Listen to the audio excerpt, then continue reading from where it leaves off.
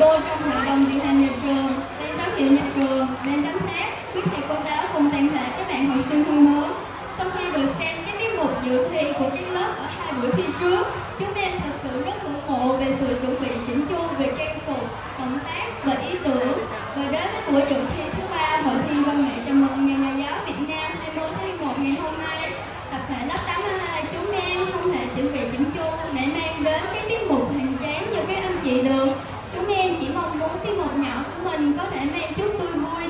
cô và các bạn. Như lời tri ân của chúng em gửi đến thầy cô, cảm ơn thầy cô đã luôn bên cạnh, luôn giúp đỡ dạy bảo chúng em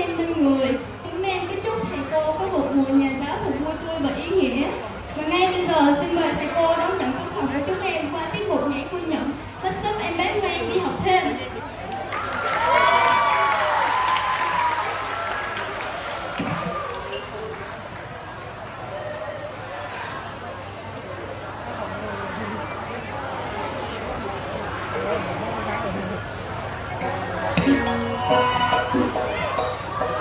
you.